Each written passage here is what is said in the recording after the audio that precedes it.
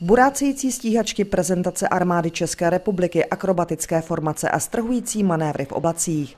To všechno nabídl divákům 23. ročník letecké show CIAV, která se tradičně uskutečnila na Hradeckém letišti. Ve vzduchu na zemi uvidí celkem zhruba 87 kusů letecké a vrtulníkové techniky. Rozmanitý program byl připraven i na zemi, kde si mohli diváci mimo jiné vyzkoušet, jaké to je sedět v kokpitu stíhačky. Mezi takové unikáty a speciální letouny, které se letos představí na CIAF, patří eh, letoun OV-10 Bronco, který přiletěl z Francie a je to letoun, který eh, létal ve větnamské válce. Eh, zajímavostí bude určitě pozemní ukázka, kdy se při pozemním boji představí letoun jak 3 jako podpora, která bude podporovat ty jednotky na zemi.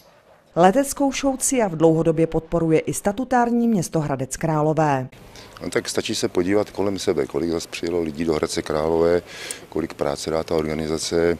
Je to jedna z takových zásadních událostí našeho cyklu Regina a podporujeme to proto, protože to schválí zastupitelstvo a já si myslím, že to je dobře.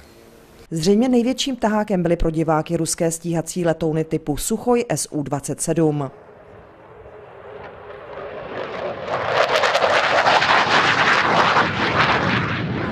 Stíhací letouny čtvrté generace, které jsou určeny k boji proti vzdušným cílům, viděli diváci ve vzduchu i na statické ukázce.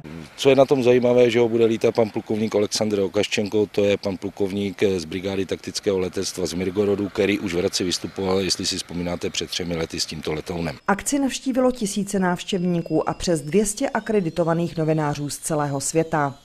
CIAV se v České republice koná od roku 1993.